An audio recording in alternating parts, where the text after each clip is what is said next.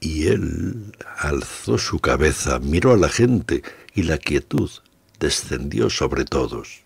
Entonces, con fuerte voz, dijo, Cuando el amor os llame, seguidle, aunque su camino sea duro y penoso, y entregaos a sus alas que os envuelven, aunque la espada escondida entre ellas os hiera, y creed en él cuando os hable, aunque su voz aplaste vuestros sueños, como hace el viento del norte el viento que arrasa los jardines, porque así como el amor os da gloria, así os crucifica, así como os da abundancia, así os poda, así como se remonta a lo más alto y acaricia vuestras ramas más débiles que se estremecen bajo el sol, así llegará hasta vuestras raíces y las sacudirá en un abrazo con tierra. Como a gavillas de trigo Él los une a vosotros mismos. Como a gavillas de trigo Él os une a vosotros mismos, os agarra para desnudaros, os cierne para libraros de los pliegues que cubren vuestra figura, os pulveriza hasta volveros blancos, os amasa para que lo dócil y lo flexible renazca de vuestra dureza y os destina luego a su fuego sagrado para que podáis ser sagrado pan en la sagrada fiesta de Dios.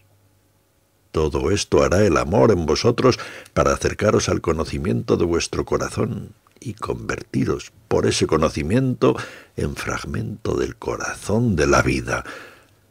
Pero si vuestro miedo os hace buscar solamente la paz y el placer del amor, entonces eh, sería mejor que os cubrierais vuestra desnudez y os alejarais de sus umbrales hacia un mundo sin primavera, donde reiréis, pero no con toda vuestra risa, y lloraréis, pero no con todas vuestras lágrimas. El amor no da más que de sí mismo, y no torna nada más que de sí mismo. El amor no posee ni es poseído, porque el amor es todo para el amor. Cuando améis, no digáis, Dios está en mi corazón, sino más bien yo estoy en el corazón de Dios, y no penséis en dirigir el curso del amor, porque será Él, si os haya dignos, quien dirija vuestro curso. El amor no tiene otro deseo que el de realizarse. Pero si amáis y no podéis evitar tener deseos, que vuestros deseos sean estos, fundirse y ser como el arroyo que murmura su melodía en la noche, saber del dolor del exceso de ternura, ser herido por nuestro propio conocimiento del amor, sangrar voluntaria y alegremente.